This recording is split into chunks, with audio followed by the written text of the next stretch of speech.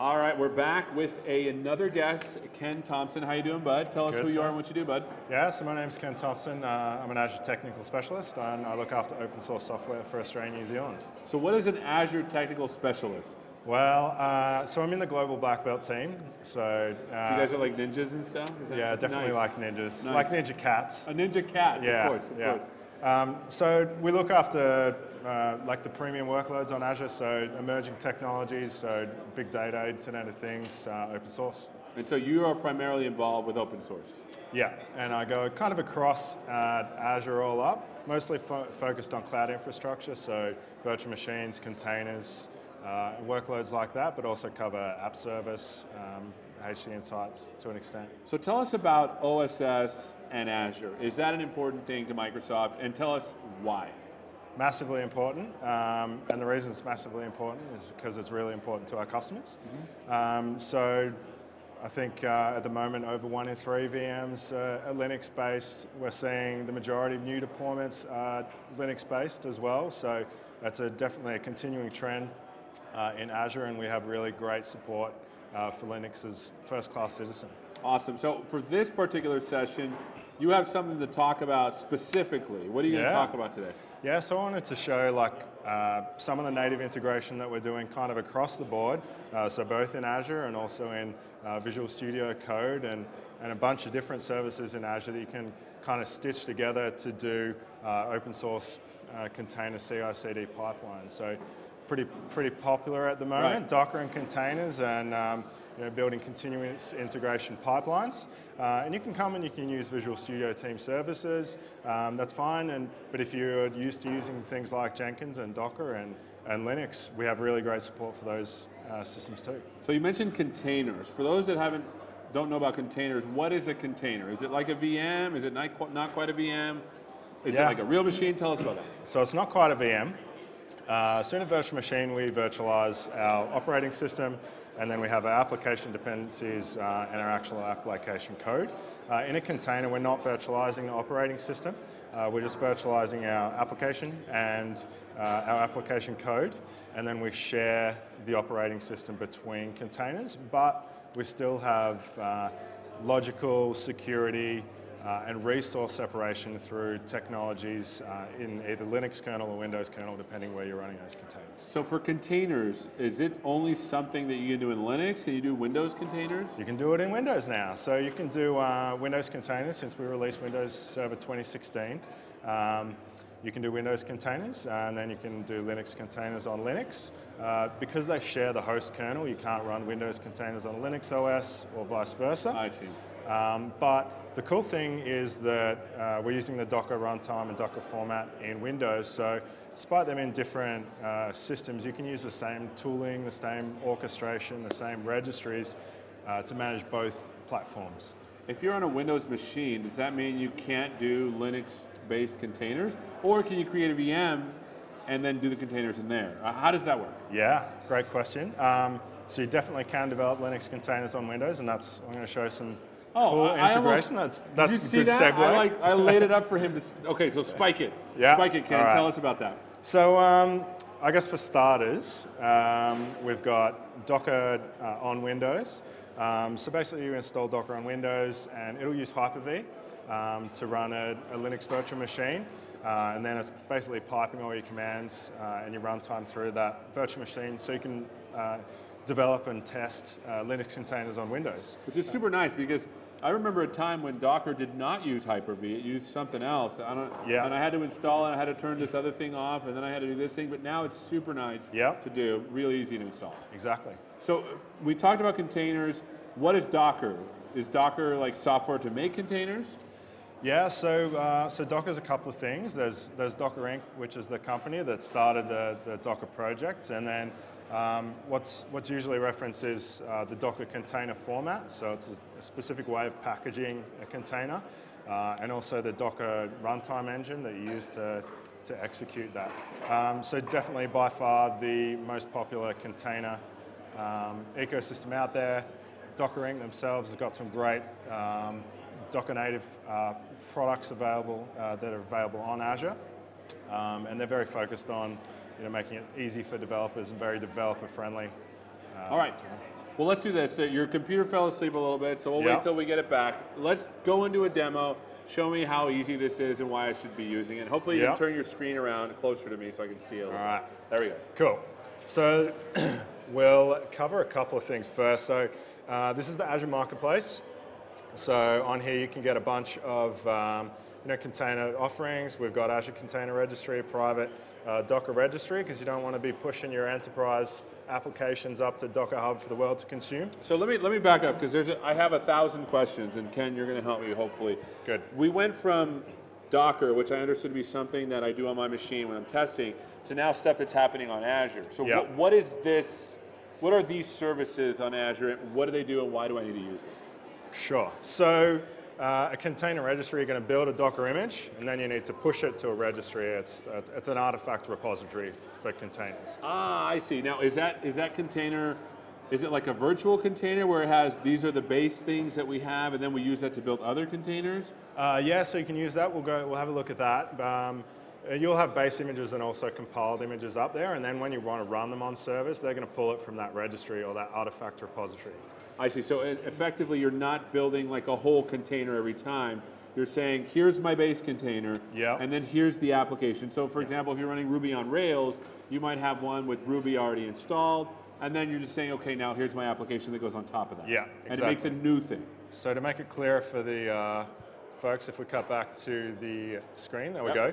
Um, this is what you're referring to. This is a this is Docker files. This is how we build our Docker application, and we say, you know, this one is a Node application, so we want to take this base image uh, developed by uh, Docker, um, and we want to install some dependencies. We're going to put our code in here. Uh, we're going to expose the port, and then we're going to tell Docker, when you run this container, this is the command you need to execute my application. I so see. this makes it really nice for developers because they can control their dependencies, so there's no discrepancy between ops around, you know, I'm on PHP version 5.3, not 5.4, and you didn't install the right dependencies. So they have control of all that. They can package it with their app. And likewise for the operators, whether they're getting apps from the Node team or the Java team or the .NET team, they all come in the same format. Um, the commands to start the application are part of the container itself, so it makes it super easy for them to manage, you know, fully heterogeneous uh, application. And so that's what the registry is. It's going to have a set of images that you've made that all Yeah, of your so this is gonna this is gonna build an image for us, and then we're gonna have to push push it up to the registry so we can run it in our servers. Okay, so I'm, maybe I'm getting confused. 'cause I'm thinking of a registry as a set of base images. So it has both. So Oh, okay, Yeah. okay, okay, So makes it'll so this node, if we were pushing to Docker Hub, this node image that lives in Docker Hub, um, and then I would build this image and I would push this up as my node app or something else, um, and it will refer, uh, it will build and build a full image including that that node base. So you said Docker Hub and you said registry. Are those Yeah. the same things? Yes. So Docker Hub is a public registry. Okay, okay. And what Azure Container Registry is a private registry. So Docker Hub is public, so you don't want to push your most intimate enterprise applications up for the world to consume. you Oh, I want to have a private, secured registry uh, that you can use, and we, we give you a really simple, like platform as a service style registry that you can uh, really easily spin up. So I'm spitballing here, and Yeah. let's let's pretend that this is our super important node app, Yeah. and all of a sudden it's super overloaded. There's going to be some other system that's going to go to our private registry and say, "I need another one of those." Uh, yeah, yeah. It'll Okay. um, you can spin up the container. So maybe we'll um, let's uh, build the app, Okay, let's do it. and we'll see. We No, let's can we it. can see all that. Yeah, I'm getting ahead of you because I have thousands of questions about Cool. it. So I just want to touch on the marketplace. We've got heaps of Docker solutions. Uh, in there, container service is one. Um, so container service is uh, a way to deploy uh, Docker Swarm, Kubernetes, or Mesosphere DCOS. They're like the three most popular Docker orchestration frameworks. So when you want to run a Docker uh, platform across multiple hosts, you need to think, do things like service discovery and storage and networking. And that's what these platforms look after. For, Or, or they do they look after the container health as well? yeah, yeah. Cool. So those are like the operating systems that pull containers out of registries, shut Yeah. things down, start things up, Yeah. make sure they're all networked properly. Yeah. That's what the container service is. And you can choose from, you said, DCOS. Mesosphere, and Kubernetes. DCOS is by Mesosphere, DCOS, uh, Kubernetes, and Docker Swarm. Got it. Got it. I got And it. they're all fully open source, so Got it's it. the exact same stack that you can run on premise or another public cloud. Um, yeah, so lots of op- options there. So I've already got a, um, I've got a Kubernetes. So I've got a container registry here for Ignite. We've got our private registry up on Azure.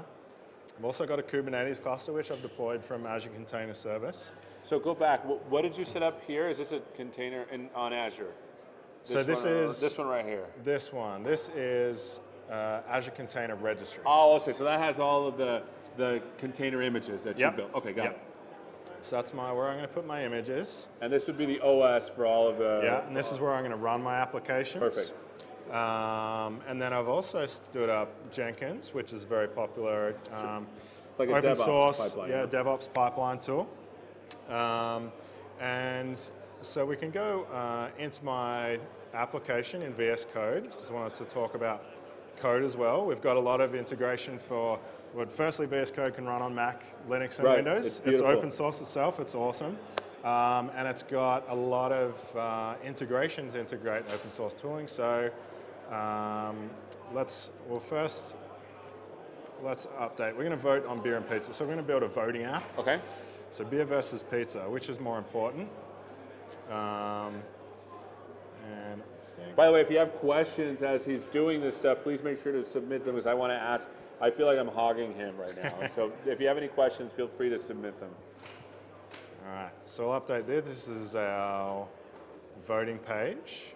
And we've also got a It's like something else in Python. Right? results page. Yeah, so I'll, I'll just put this in and then I'll show you what the application is that we're building.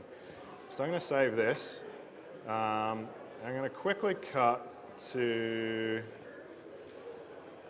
let's have a look at this. This is what I'm uh, putting together now. Okay. All right, it's loading. No, so you you are on a loading. yeah. So it, it, There we go. Yeah, there we go. on, yeah. It's loading. Yeah. Cool. All right.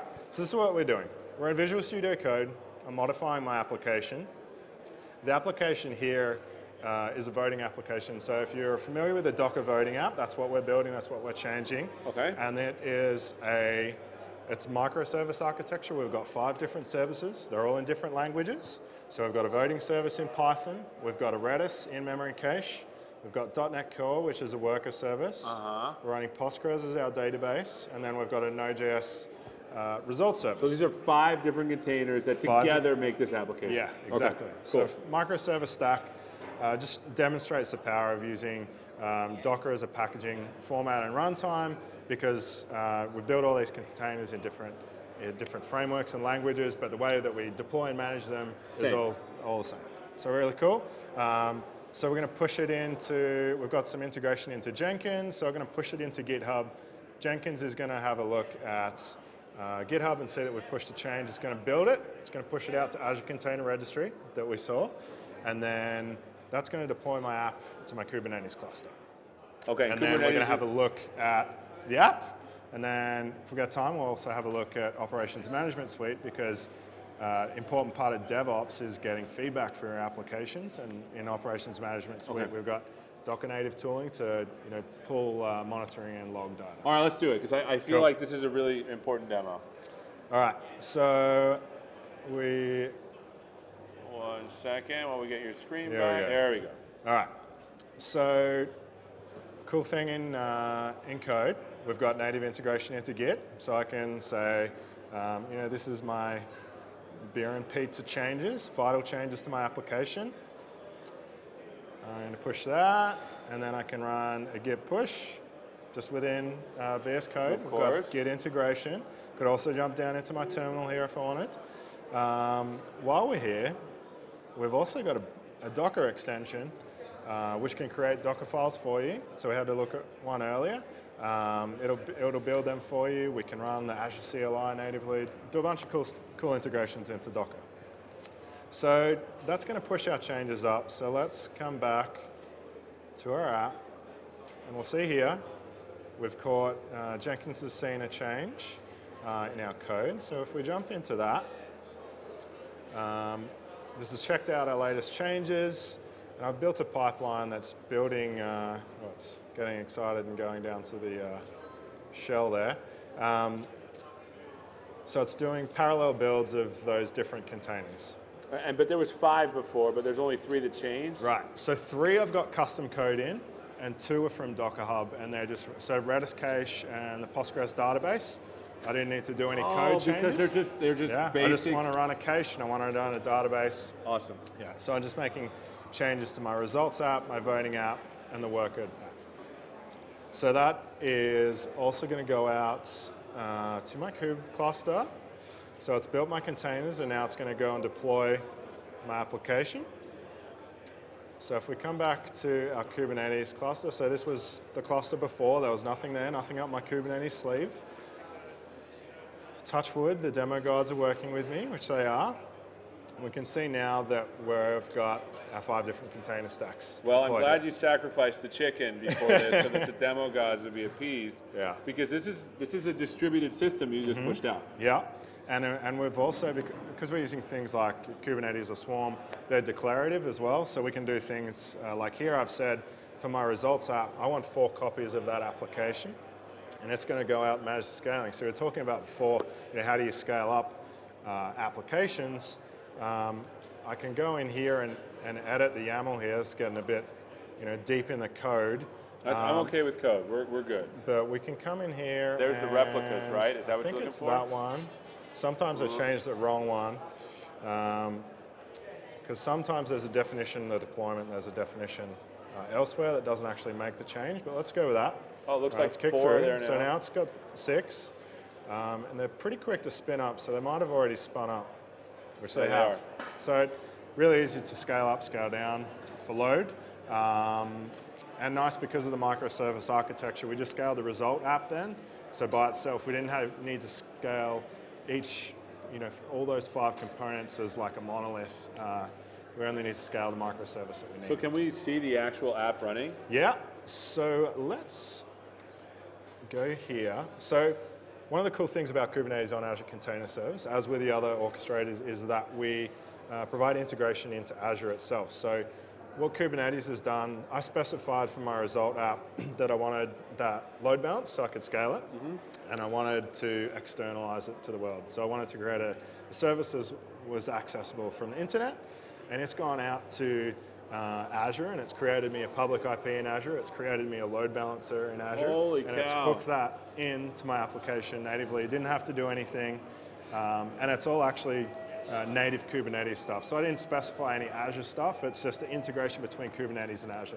It's making I all that see. happen. And so now the public external endpoint is this IP address 40. Yeah, so I could hit that, but I've added that into Azure DNS because Okay, we can do DNS in. Azure now. So uh, if we go to vote on Azure, so this was my previous app. Now we can see our new app. Uh-huh. So vote.onazure.io if you're watching and want to have a vote. Beer and pizza, tough choice.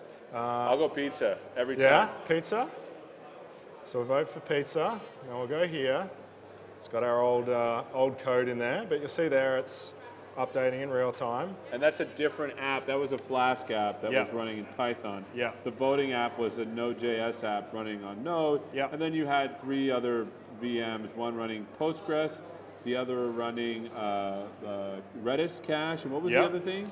So Postgres, there was .NET walk, worker as well. Okay. So um, yeah, so we've got someone else's vo- voting online, which is great. Fantastic, Um, thank And you. you'll see if I change my vote, you know, it's going to update real time.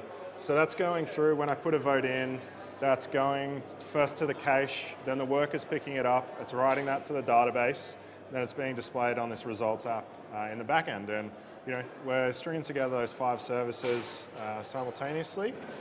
Um, and yeah, so I feel like there's a lot of, like there was a lot of magic dust you sprinkled everywhere. I kind of want to know, like there had to be some painful work that you had to go through to get through it, or was there not that painful work? Is this something that I can do if I have an application that I want to set up this way? This is definitely something you can do. Okay, And, even uh, me. I mean, yeah. okay.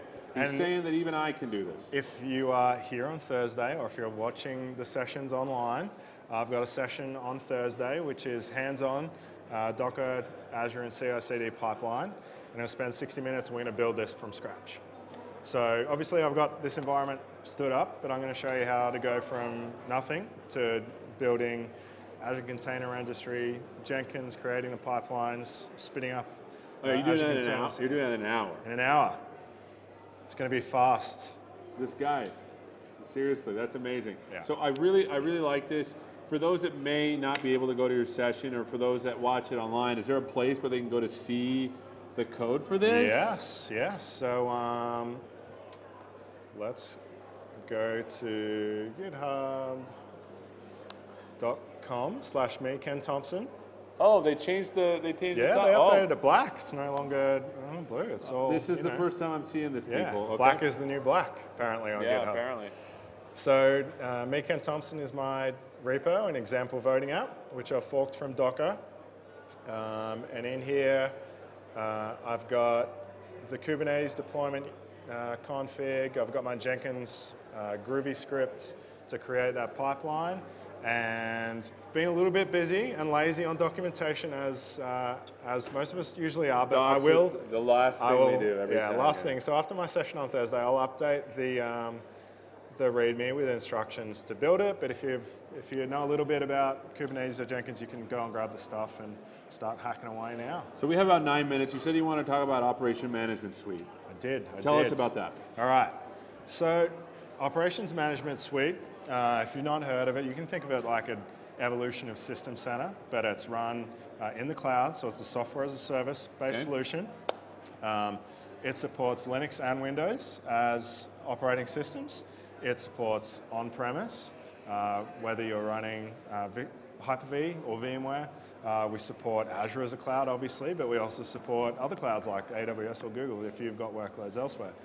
Um, so you can uh, do a bunch of cool stuff with, with OMS. You can do automation, you can do log analytics, uh, security, um, and a bunch of other stuff. So, so I understand this from a perspective of like, you know, application insights. yep, I don't understand this from the perspective of Kubernetes multiple container stuff running. Yeah. So you're going to tell us how this sort of, how those things go together. Is that correct? Yeah, Okay. exactly. So, um, so we've got a container solution in, in OMS. Uh, it's a preview, so we've got it here. Um, so let's open that up. So this is a preview of Operations Management Suite that goes into Container Solution. Yeah, so Operations Management Suite, GA, the container solution is in public preview. Um, and yeah, you can go and you can enable it. Uh, it's not And this is looking at all the containers.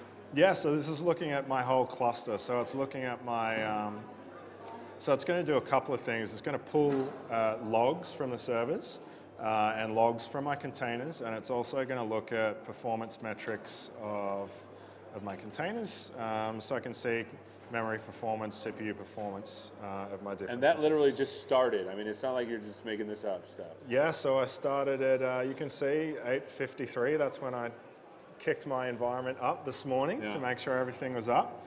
Um, and we actually, uh, to set up OMS uh, is pretty easy on Docker environments. So if we go back to um, Kubernetes, so we actually ship the OMS agent as a Docker container. And if you go to the docs.microsoft.com, our new doc site, um, in uh, I think in the Azure Container Service, uh, part of the documentation, you'll see how to enable OMS in Kubernetes.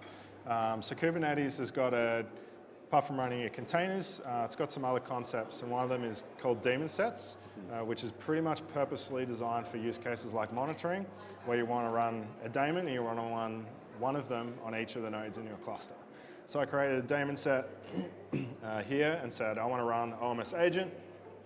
Um, I give it my uh, configuration for my OMS workspace, and then it's going to go and suck data from that node in the containers and push it up to OMS, and then that's what we're seeing here. Do I need to do anything in my application itself in order to enable logging? Or does Nope. it just happen? Like, like what is it logging then? Uh, so the OMS container is using the Docker socket. So you'll have to run the container as a privileged. So we talked very early around, um, although containers share the same operating system, they're, they're separate and they're secure. Uh, this one we're giving escalated privilege basically, so it can talk to the host and it can use the Docker daemon to uh, introspect and pull out logs from containers and also from the host. So in .NET, usually I do like a debug .write line. Is that the kind of logging that will it will be picked up? Um, I think by default we're going to put uh, anything from from syslog on Linux. Um, so if your logs are going out to the standard Linux log Okay. um, location, then we'll be pulling them out. Awesome. Well, Ken, this has been super fast. Is there anything we missed that you want to add in the last minute or two? I think we covered everything. It's a bit of a whirlwind. There's Yeah. sticking a lot of services together, but I guess the important thing is that um, you can do you know open source solutions really great on Azure. We've looked at kind of native integration between the developer environment on Visual Studio Code, Azure Container Service, Azure Container Registry, running Jenkins on Azure, and running a bunch of open source uh, languages. So really, as a first-class citizen, super easy to get started. We've got a bunch of services that are just going to accelerate your open source projects. I really, I really like appreciate this because the thing that, that I found most useful is if I want to write a little web application, there's no reason why I can't containerize it and just spin up a Postgres thing, a Redis cache, and my little web app, and just have it all happen in Kubernetes really yeah. easily. Yeah, exactly. Awesome. Well, thanks so much for spending some time with us, Ken. No Coming up next. We have a breakout session with the, of course, awesome Troy Hunt, applied Azure, building a large-scale real-world application on a coffee budget. And I looked at his website. He gets millions and millions of hits a day. And so we'll see that coming up next. Make sure you stay tuned. And after that, we'll be back here with another interview with uh, Ada Stevenson and Duncan Hunter. We'll see you then.